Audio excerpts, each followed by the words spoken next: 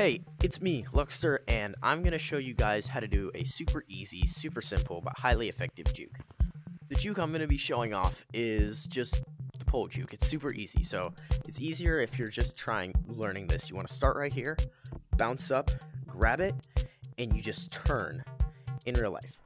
And it's that easy, and you might want to grab it with your hand at the back so you can spin easier, and you throw yourself off. And it's that easy, and this is what it looks like fast. So simple. Just come here, turn, and you go right over. And it's that easy. It's great for a first juke, and if you already know it, please just like the video so YouTube will recommend it. I'm trying to hit 500 subs by the end. See you next time.